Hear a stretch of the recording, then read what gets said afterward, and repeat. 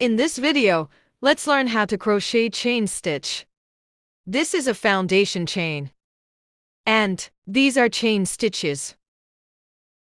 A chain stitch is simply yarning over and then pulling that yarn through the loop that was on your hook. Okay, let's do a chain stitch again from this angle. After yarning over, pull that yarn through the loop that's on your hook. One more time. Yarn over. Pull that yarn through the loop that's on your hook.